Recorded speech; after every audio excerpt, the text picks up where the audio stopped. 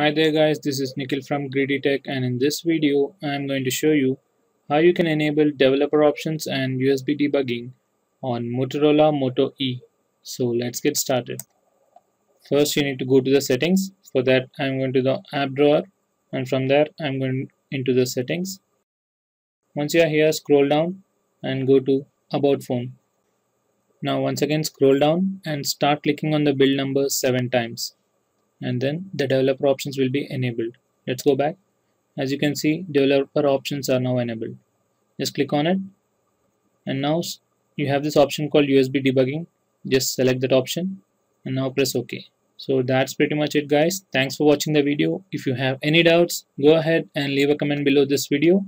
And please subscribe to my channel to see more videos just like this